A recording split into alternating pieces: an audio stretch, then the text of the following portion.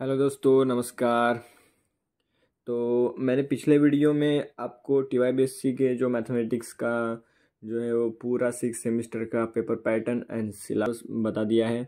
और मैंने आपसे कहा था कि मैं अगले वीडियो में आपसे एक एक सब्जेक्ट के बारे में बात करूँगा एक एक सब्जेक्ट को लेके हम शुरुआत करने वाले हैं कि किस तरीके से हमारे यूनिट है उसमें। तो आज हम पहला सब्जेक्ट शुरू करने वाले हैं रिंग थेरी ठीक है? रिंग थे, हम ये सब्जेक्ट शुरू करने वाले और इसमें यूनिट वन। यूनिट वन, देखो, अगर यूनिट वन हमको बताए रिंग थ्री का यूनिट वन क्या है? रिंग है। ये हमने कल भी देखा हुआ था। तो रिंग से, और इसमें हमको क्या क्या पढ़ना है यूनिट वन में?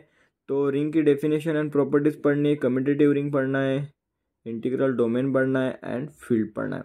उसके बाद में units ring units in ring, examples of finite fields पढ़ना है हमको और रिंग्स की कैरेक्टरिस्टिक पढ़ना है, ठीक है?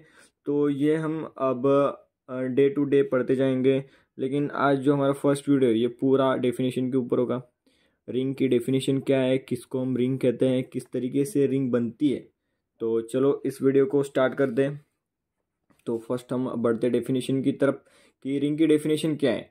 देखो रिंग को समझने से पहले आपको ये समझना होगा कि ग्रुप मतलब क्या होता है।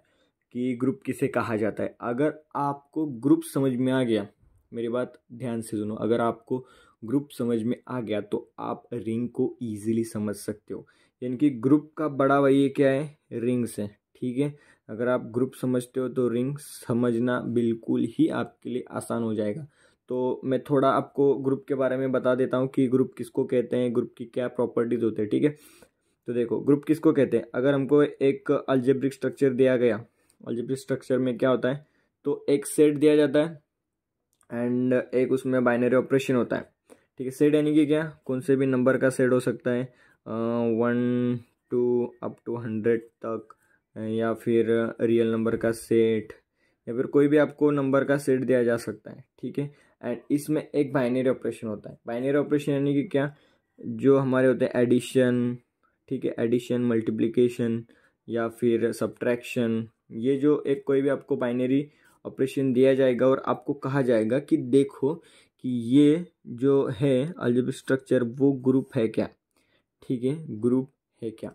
तो आपको फिक्स हमने फिफ्थ सेमेस्टर में पढ़ा है कि अगर हमको चेक करना है कि कौन सा भी जो दिया हुआ अल्जेब्रिक स्ट्रक्चर है, वो ग्रुप है या नहीं तो हम उसके लिए चार प्रॉपर्टीज़ फुलफिल कर दें। कितनी प्रॉपर्टीज़ चार प्रॉपर्टीज़ फुलफिल करते हैं। कौन कौन सी? Closure associative existence of identity and existence of inverse देखो, मैं जो बता रहा हूँ, वो पूरी तरीके से लिख के ले लो आप। अच्छी तरीके से आप नोट्स बनाओ तो आपको एग्ज़ाम में भी ज़्यादा तकलीफ़ नहीं होगी। देखो क्लोज क्लोजर प्रॉपर्टी क्या होते हैं कि कोई भी अगर हमने दो एलिमेंट ले लिया उस सेट में से जी यानी कि क्या सेट हमने यहाँ पर लिखा है कि जी यानी कि क्या सेट और सेट क्या? ये कोई भी हो सकता है। एंड ए एंड बी यहाँ पर मैंने क्या लिया ये यहाँ पर बताने के लिए ले, लेकिन यहाँ से हम नंबर ले सकते हैं, ठीक है? यानी कि मतलब मैंने, मैं ये टू एंड थ्री ले लिया। अगर ये ग्रुप में एग्जिस्ट करता है तो उसका, अगर मैंने यहाँ पर बाइनरी ऑपरेशन लिया एडिशन का, यानी कि ग्रुप क्या हो गया फिर? कि जी एंड एडिशन ठीक है? तो अगर मैंने इसको बता दिया कि जी बाइनरी ऑपरेशन प्लस यहाँ पर बाइनरी ऑपरेशन क्या दिया प्लस तो ये भी किसमें एग्जिस्ट करना चाहिए? उस सेट में एग्जिस्ट करना ही चाहिए। ठीक है? तो ठीक है, ये एग्जिस्ट करता है। देखो टू प्लस थ्री क्या हो गया? सिक्स एग्जिस्ट करता है। लेकिन ये सिर्फ़ इन दोनों के लिए नहीं, या फिर कुछ के लिए नहीं होता है तो ये पूरे, देखो, यहाँ पर मैंने पूरे बताया कि कौन सा भी ए एंड बी ले लो, कौन से भी दो एलिमेंट ले लो, उनका जो बाइनरी ऑपरेशन के साथ आने वाला प्रोडक्ट होगा, वो ग्रुप में होना ही चाहिए। देखो, अगर ये वन टू हंड्रेड तक हुआ अगर ये जो सेट है ये सेट वन टू हंड्रेड तक हुआ तो अगर मैंने एक एलिमेंट ले लिया हंड्रेड और एक एलिमेंट ले लिया वन तो एडिशन क्या आएगी? वन हंड्रेड एंड वन तो वो तो सेट में है ही नहीं तो हम उसको के, तो यहाँ पर का क्या हो गया कि ये क्लोजर प्रॉपर्टी है ये सेटिस्फाई नहीं होगी ठीक है? तो ऐसा नहीं होना चाहिए। उसमें सारे के सारे ग्रुप के एलिमेंट यानी कि जो हम उसमें बाइनरी ऑपरेशन लगा के जो भी हमारा जो प्रोडक्ट आएगा, वो सभी प्रोडक्ट उस ग्रुप में होने ही चाहिए। ठीक है? तो ये है क्लोजर प्रॉपर्टी आपको समझ में आ चुकी होगी। बाद में देखते हैं एसोसिएटिव प्रॉपर्टी एसोसिएटिव प्रॉपर्टी में क्या होता है? हमको तीन एलिमेंट लेने होते हैं। तीन एलिमेंट लेने होते हैं। ये हमने ग्रुप में से, देखो, यहाँ पर हमने ग्रुप ले लिया, यहाँ पर हमने सेट लिया है।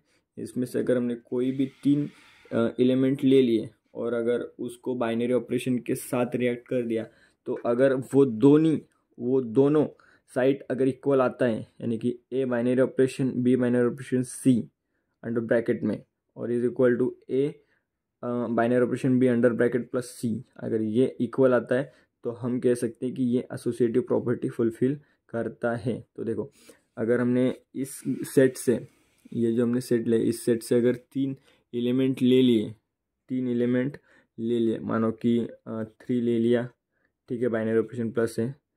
फोर ले लिया एंड फाइव ले लिया। ठीक है तो ये क्या होना चाहिए? ये दोनों साइड क्या होनी चाहिए? इक्वल होनी चाहिए। तो इक्वल होते हैं? यस इक्वल होते हैं। नाइन प्लस थ्री ठीक है सेवन प्लस फाइव यानी कि क्या होता है ये? ट्वेल्व इक्वल होता है। यानी कि ये एसोसिएटिव प्रॉपर्टी तो फुलफिल करता है। ये सेट जो है, ये इस बाइनरी ऑपरेशन के साथ, इस बाइनरी ऑपरेशन के साथ एसोसिएटिव प्रॉपर्टी फुलफिल करता है। बाद में, आइडेंटिटी प्रॉपर्टी क्या होती है? ये प्रॉपर्टी बहुत ज़रूरी है और ये सबसे इजी प्रॉपर्टी इसमें तो हम देख के बता सकते हैं कि आइडेंटिटी है या नहीं। देखो आइडेंटिटी यानी कि क्या? एक ऐसा एलिमेंट आइडेंटिटी एलिमेंट यानी कि क्या?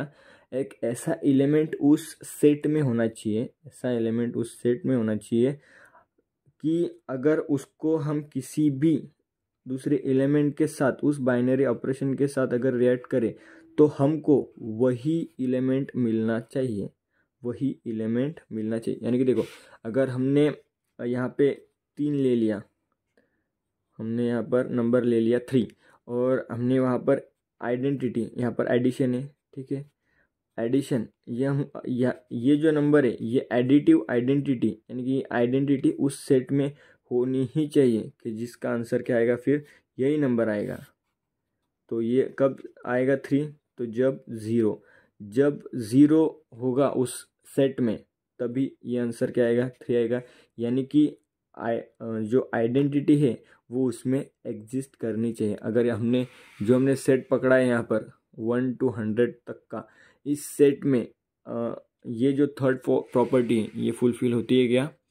तो नहीं होती क्योंकि यहाँ पर जो है वो ज़ीरो इंक्लूडेड नहीं किया गया। इसलिए ये जो है वो एग्जिस्टेंस ऑफ़ आइडेंटिटी थर्ड वाली प्रॉपर्टी फुलफिल नहीं करती है। ठीक है? तो ये भी प्रॉपर्टी फुलफिल करनी चाहिए, तभी हम कह सकते हैं कि ये एक ग्रुप की तरह बढ़ रहा है। देखो, और फोर्थ प्रॉपर्टी होती है एग्जिस्टेंस ऑफ़ इनवर्स जिस तरीके से हर एक मतलब आइडेंटिटी उस ग्रुप में, उस सेट में होनी चाहिए, उसी तरीके से हर एक हर एक एलिमेंट का वहाँ पे एक इन्वर्स होना ही चाहिए, ठीक है? इन्वर्स यानी कि क्या? उल्टा। अगर हमने एक नंबर ले लिया थ्री ठीक है? तो वहाँ पे ऐसा एक एलिमेंट ज़रूर होना चाहिए। जब हम उसको रिएक्ट करेंगे तो हमारा आंसर क्या आएगा? ज़ीरो तब हमारा आंसर क्या आएगा? देखो यहाँ पर। तब हमारा आंसर क्या आएगा? वो आइडेंटिटी आएगी, ठीक है? वो आइडेंटिटी आएगी। अगर अगर हमारा दिया हुआ बाइनरी ऑपरेशन एडिशन है तो वो ज़ीरो आनी चाहिए। अगर दिया हुआ बाइनरी ऑपरेशन हमारा मल्टीप्लिकेशन है तो वो वन होनी चाहिए। ठीक है? हमको पता है कि एडिशन के मामले में जो आइडेंटिटी होती होती है, वो ज़ीरो और जो मल्टीप्लिकेशन होता है, उसके मामले में जो आइडेंटिटी होती है, वो क्या होती है? वन क्योंकि किसी भी अगर नंबर से हम वन को मल्टी मल्टीप्लाई करते हैं तो हमारा आंसर क्या आता है? वही नंबर ठीक है? तो यहाँ पर कौन सा आना चाहिए तो? माइनस थ्री और यहाँ पर वन बाई थ्री। ठीक है, तभी हमारा क्या आएगा? ये एडिटिव सॉरी ये आइडेंटिटी आएगी। ठीक है तो यहाँ पे ऐसा हर एक नंबर एग्जिस्ट करना चाहिए। मतलब हर एक नंबर का इन्वर्स भी उसमें एग्जिस्ट करना चाहिए। जो हमने ग्रुप लिया हुआ है वन टू हंड्रेड का, उसमें देखो, उसमें एग्जिस्ट करता है क्या? नहीं टू टू का एडिटिव इन्वर्स या फिर इन्वर्स यहाँ पर एग्जिस्ट करता है का माइनस टू नहीं माइनस नहीं एग्जिस्ट करता है, ठीक है? एग्जिस्ट नहीं करता है। तो इसलिए हम ये भी ये प्रॉपर्टी फुलफिल नहीं करता है। ये सिर्फ़, ये प्रॉपर्टीज़ है, मैंने आपको एग्ज़ाम के एग्ज़ाम्पल इसीलिए दिया है कि आप अच्छी तरीके से समझ पाओ। तो ठीक है, अगर अगर ये ग्रुप ये चारों भी प्रॉपर्टीज़ अगर फुलफिल करता होगा, यानी कि क्लोजर सिटी प्रॉपर्टी उसमें आइडेंटिटी भी होगी और हर एक एलिमेंट का इन्वर्स भी उसमें प्रेजेंट होगा तो हम उसको कह सकते हैं कि ये एक ग्रुप है, एक ग्रुप है।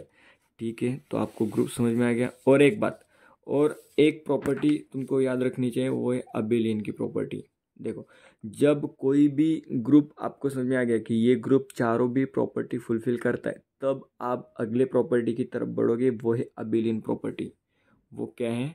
वो है अबेलियन प्रॉपर्टी अगर जो ग्रुप है, वो अबेलियन प्रॉपर्टी को भी फुलफिल करता होगा। अबेलियन प्रॉपर्टी यानी कि क्या? तो ए जो हमारा ऑपरेशन दिया रहेगा, वो B is equal to B operation A मतलब कि क्या? थ्री हमने पिछली बार ऑपरेशन क्या लिया था प्लस तो टू यानी टू प्लस थ्री, ये आना ही चाहिए। अगर ये आता है तो वो ग्रुप जो है, वो क्या है? वो एक अबेलियन ग्रुप है, ठीक है? तो हमने पूरी तरीके से ग्रुप के बारे में पढ़ा कि ग्रुप क्या होता है ग्रुप किसे कहते हैं।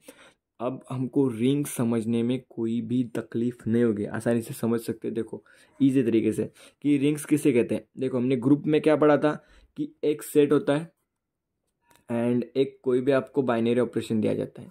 लेकिन रिंग में ऐसा नहीं होता है। रिंग में आपको एक सेट दिया जाएगा। ये पक्का है। एक सेट दिया जाएगा। लेकिन जो आपके बाइनरी ऑपरेशन होंगे, वो फिक्स होंगे। एक बाइनरी ऑपरेशन आपका एडिशन होगा एंड एक आपका मल्टीप्लिकेशन होगा। इनके अलावा आपको बाइनरी ऑपरेशन नहीं दिया जाएगा। ठीक है? ये दोनों ही बाइनरी ऑपरेशन आपको दिए जाएँगे। तो देखो, ये बाइनरी ऑपरेशन के साथ हमको पढ़ने आगे। देखो, हम कब रिंग कहेंगे? जब आर जो होगा, वो प्लस बाइनरी ऑपरेशन के साथ अबिलियन ग्रुप बनाता होगा। हमने ग्रुप का अभी अभी सब कुछ पढ़ा है कि अगर हमको एक सेट दिया गया और एक ऑपरेशन दिया गया तो हम कब उसको अबिलियन ग्रुप कहेंगे? तो हमने देखी, ये जो चार property closure associative identity inverse and abelian की प्रॉपर्टी अगर ये पाँचों प्रॉपर्टी अगर कोई भी ग्रुप फुलफिल करता होगा तो हम उसको क्या कहेंगे कि ये एक अबिलियन ग्रुप है। तो समझ में आ गया? आर जो होगा वो एडिटिव ऑपरेशन के साथ एडिशन ऑपरेशन के साथ क्या बनाना चाहिए? अबिलियन ग्रुप बनाना चाहिए। ये किसकी? देखो रिंग की डेफिनेशन बता रहा हूँ कि रिंग कब कहा जाता है। ये जो ये जो हमारा अल्जेब्रिक स्ट्रक्चर है या फिर ये जो हमारी ये है, उसको हम रिंग कब कहेंगे? जब ये आर के साथ अबिलियन ग्रुप बनाएगा। ठीक है? आर एंड एडिशन हाँ यहाँ पर क्या है? एडिशन ऑपरेशन क्या लिया है? एडिशन एडिशन का हो गया। एंड जो मल्टीप्लिकेशन होगा, उसके साथ सेमी ग्रुप बनाना चाहिए। एडिशन के साथ अबिलियन ग्रुप एंड जो मल्टीप्लिकेशन ऑपरेशन है, उसके साथ क्या बनाना चाहिए? सेमी ग्रुप सेमी ग्रुप में सिर्फ़ दो ही प्रॉपर्टी होती है क्लोजर एंड एसोसिएटिव क्लोजर यानी कि क्या? अगर अगर ए एंड बी ठीक है? ए एंड बी ये अगर उस सेट में है तो ए ए मल्टीप्लिकेशन बी भी उस सेट में होना ही चाहिए। ठीक है, ये होगी क्लोजर एंड एसोसिएटिव यानी कि क्या?